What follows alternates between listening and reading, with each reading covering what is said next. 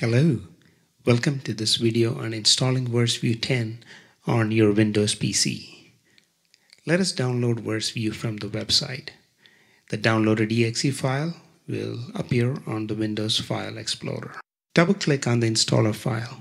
It shows a Windows security message because the file was downloaded from an online site. Click on More Info and then click on Run Anyways. Please check the information and click on I agree to continue the installation. The files are installed and it will automatically launch VerseView 10.